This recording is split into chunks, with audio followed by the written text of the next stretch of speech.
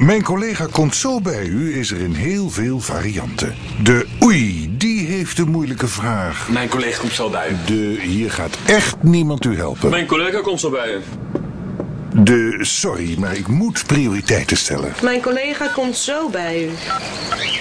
De staat u daar nou nog steeds? Mijn collega komt zo bij u.